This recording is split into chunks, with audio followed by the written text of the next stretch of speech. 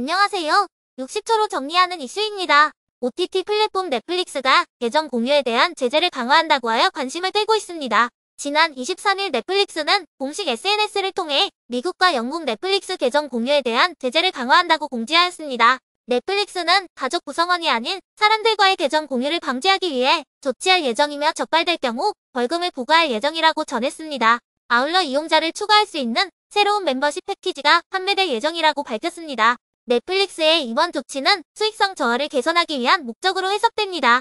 넷플릭스는 이번 조치를 시작으로 다른 국가에서도 시행에 고삐를 늦추지 않을 것으로 보여 국내 이용자들도 이에 주목하고 있습니다. 이상으로 넷플릭스가 계정 공유에 대한 제재를 강화한다는 소식 전해드렸습니다.